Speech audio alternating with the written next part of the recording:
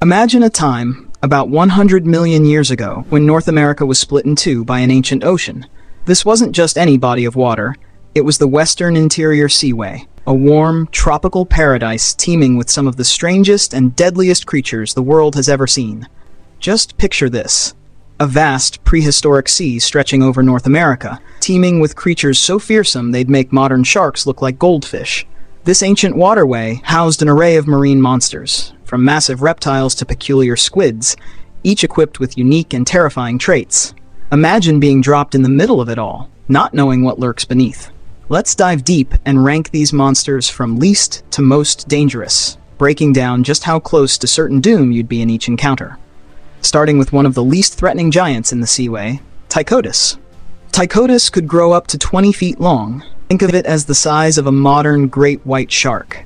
Unlike its famous cousin, however, this shark was more interested in crunching shells than biting into flesh. Its jaws were lined with thick, flat teeth that were ideal for grinding down the hard shells of its prey, like clams and ammonites. While this might not sound too scary, imagine a shark-sized fish casually swimming around, snapping up anything that was crunchy and tough. Its massive size alone would be intimidating in the water, and if it mistook you for a shell-covered creature, one chomp could crush bones just as easily as shells. Luckily for any soft-skinned swimmers, Ptychodus wouldn't be interested unless you were wrapped in armor.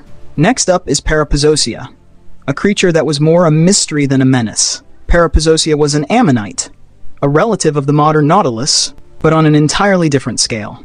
Picture a spiral shell over 11 feet wide. This thing could barely fit through the average doorway today. It might not seem particularly frightening on the surface, but that giant shell meant Parapuzosia was well protected from most threats. Imagine spotting a massive spinning shell in the water, its intricate spirals glinting as it floated past. Although many scientists believe it wasn't an aggressive predator, the sheer size of Parapuzosia could strike fear into any smaller creatures nearby.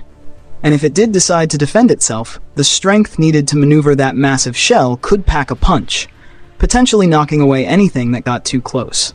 Now, imagine glancing over your shoulder and spotting a head popping up from the depths, attached to a neck over 15 feet long. That's the plesiosaur style of hunting. Although these creatures varied in size, some of the larger species could reach up to 40 feet in length, with their necks accounting for a good portion of that length. They were slender and sleek, with four paddle-like flippers that helped them glide silently through the water, making them expert ambush predators. The plesiosaurs were notorious for sneaking up on their prey, using only their small, toothy mouths to snatch fish and other smaller creatures. Now, while a plesiosaur's thin neck and small mouth wouldn't be suited to hunt something as big as a human, their agility in the water and ability to blend into the depths made them eerie to encounter. A sudden nip from those needle-like teeth could easily send chills down your spine, assuming it didn't pull you deeper into the water first. Let's move on to some more active hunters. Tusoteuthis and Ancyloceras. Tusoteuthis and Ancyloceras bring us closer to real fear.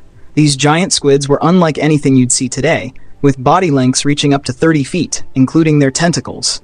Tusoteuthis, in particular, was a close relative of modern squids, but far larger and much stronger. Equipped with two long tentacles lined with suction cups and a sharp, parrot-like beak, it was a predator that could ambush anything small enough to be overpowered by its grip. Ancyloceras, on the other hand, was less like a traditional squid and more like an ammonite, sporting a bizarre, partially spiraled shell that looked both prehistoric and alien. While not as fast as modern squids, these ancient cephalopods had enough muscle power to ensnare their prey and pull them in for the kill. Imagine being gripped by a powerful tentacle, unable to break free, as you're dragged toward a massive beak designed to crush bone and flesh. Although not the most fearsome predators in the seaway, these giants were definitely intimidating and dangerous enough to make it clear that you'd be far from the top of the food chain. Venturing closer to dangerous territory, we have the Squalicorax, commonly known as the crow shark.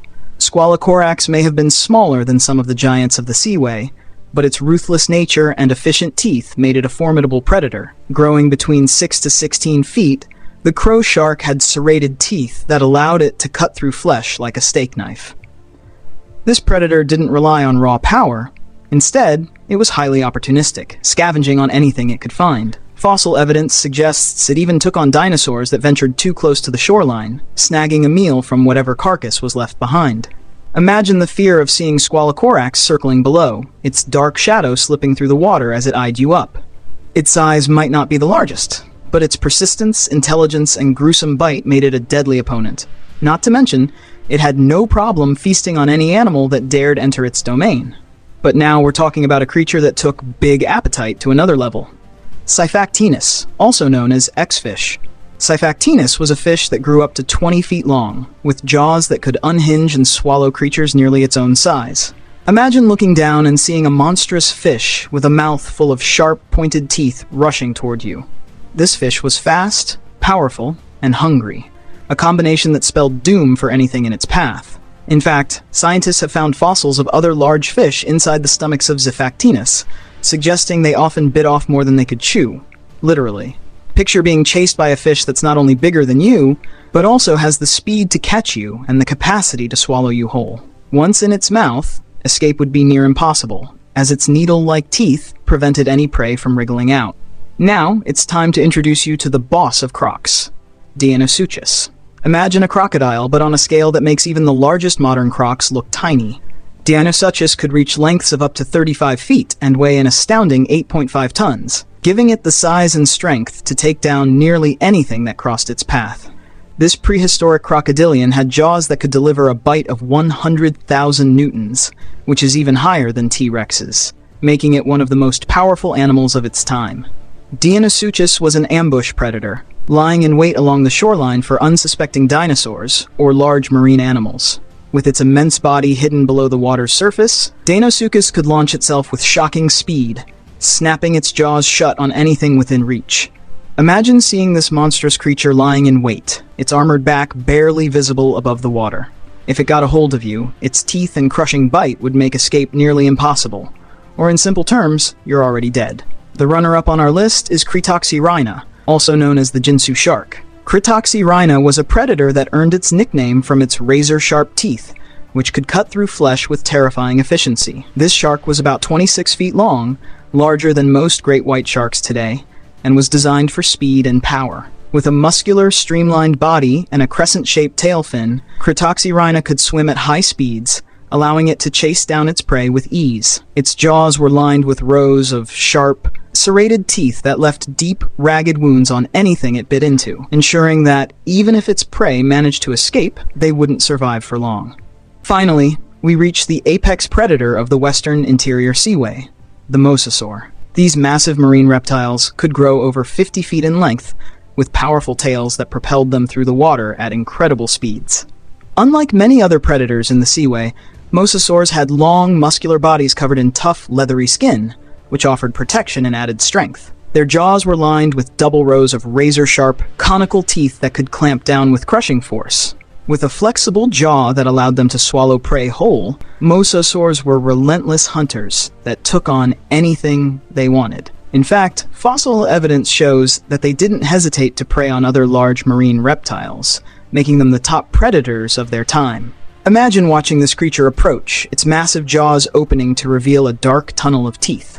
A single strike from a mosasaur was enough to shatter bones and drag its prey into the depths of the seaway.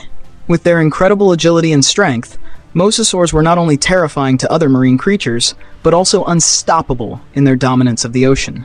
Their sheer size, intelligence, and predatory instinct made them the undisputed kings of the prehistoric waters.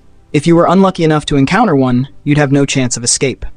The mosasaur's power was unmatched, its reign over the western interior seaway absolute. With each powerful thrust of its tail, it could close in on prey with lightning speed, sealing the fate of anything that dared to enter its territory. The thought of a creature this immense and deadly hunting you would be nothing short of a nightmare, proving why the mosasaur truly deserved its place at the top of the food chain. Anyway, if you liked the video, hit the like and the subscribe, and we'll meet again in next video.